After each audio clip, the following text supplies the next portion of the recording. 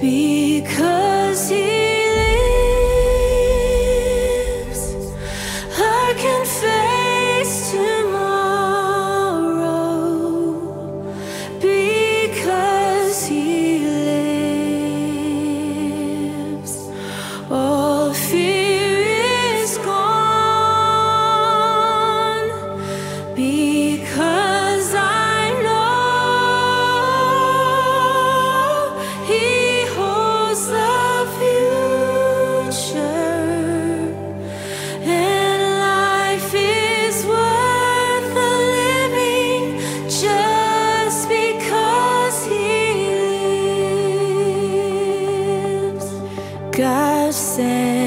his son.